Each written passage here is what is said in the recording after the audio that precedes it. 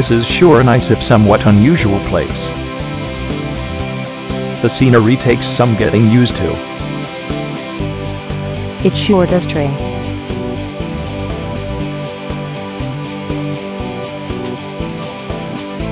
Hey Trey, don't look now, but that guy on the bench looks a lot like the man they warned us about on the TV. Not the crazy psycho killer on the news today. Now you mention it. I think we should be moving off now Trey he does not seem to have noticed us as yet. That is a big 10-4 Crystal. Let's mosey on out of here pronto. Just got to do one thing.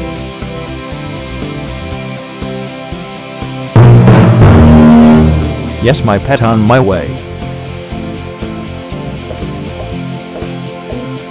Trey he could have attacked you.